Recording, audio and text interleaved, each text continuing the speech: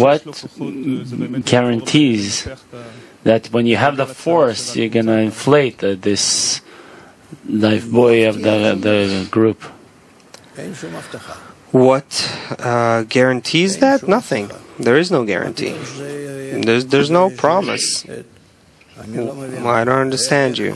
How could there be?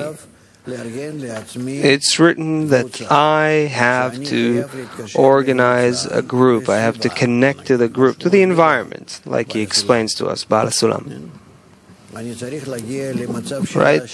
I have to come to a state of arvut with them. Arvut means that I'm in such states that I must have help, and I'm in such states where I can give help.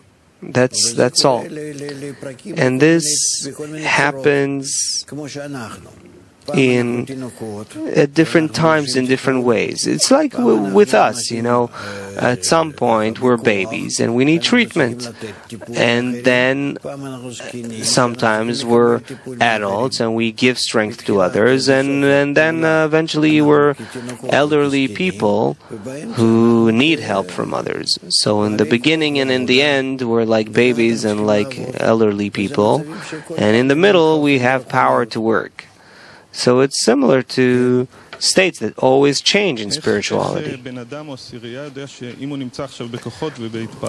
How does a person know that, uh, or the ten knows that if he has strength and ascent and inspiration right now, it goes to strengthen the general common kli of the group? When he works with them together all the time in terms of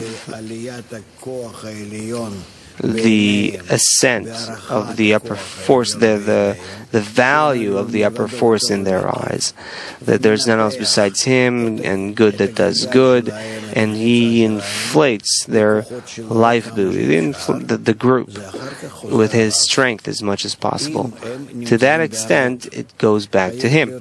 If they have arvut, there has to be a very clear consensus that they're coming in order to strengthen this. And then it turns out that that his descent is their ascent. That they each add into the group each one adds their empty vessels, and then each time, with continuously, they're always ascending.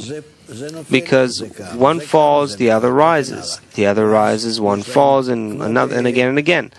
And then they have, um, it's like an alternate cur- current that becomes direct current. 热。